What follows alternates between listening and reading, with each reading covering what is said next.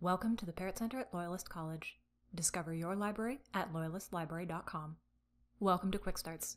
The videos in this series will introduce you to basic library skills, tips, and tricks in two minutes or less. Today's topic, accessing ebooks. This video was a student request. If you've got a topic that you'd like covered in a Quick Starts video, watch for our contact information at the end and share your idea with us. Ebooks are electronic books, and as a Loyalist student or employee, you have access to about 237,000 of them through the Parrott Center. Ebooks can be read online or downloaded to a device like a smartphone or tablet. It's important to remember that an ebook is just like a print book. The format is different, but the content and quality are the same. And finding ebooks is pretty easy. Here's how it works. Visit loyalistlibrary.com and search for what you need using Catalyst. You can search by title, author, or by keyword. You might need to try more than one search, so don't get discouraged if you don't find what you want on your first try. And let library staff know if you need help.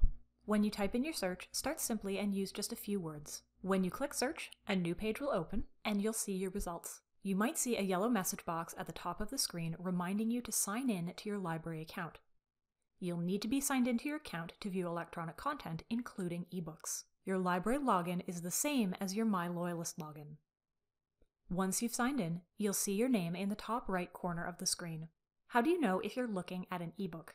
Every item in your list of results has an icon and a word or two that tells you what the format is, such as book, article, video, and so on. To make it easier to find ebooks, let's filter this list to show only books and ebooks. On the left side of your screen, you'll see options to filter or narrow down your list of results. You can learn more about these filters by watching our basic search video. We'll use the Format filter and choose Books. Ebooks will be listed as available online.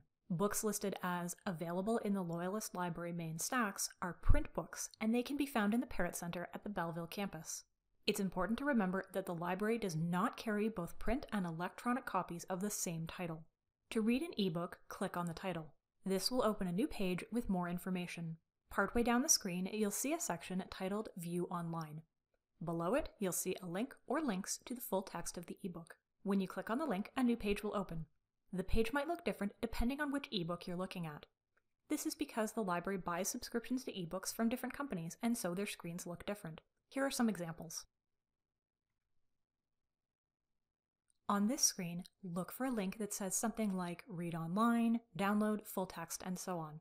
These links might be in different places depending on what screen you're looking at. If you're having trouble finding it, please let us know. Many ebooks can be downloaded, usually for 14 days. After the loan period is up, the ebook will automatically be deleted from your device. No need to worry about returns. It's important to remember that some ebooks can only be read online. This is a great opportunity to use the pin feature, which lets you save any library material to your library account. Look for the thumbtack icon in the top right corner of the record, either in your list of results or after you click on a title. Once you click on this icon, the item will be pinned to your library account. Then, anytime you visit loyalistlibrary.com and sign into your account, you can click on My Favorites to see everything that you've saved. And that's it, a quick introduction to accessing ebooks through the Parrott Center. You can learn more library tips and tricks by watching the other videos in this series. Questions? Ask us. You can get in touch using the contact information below.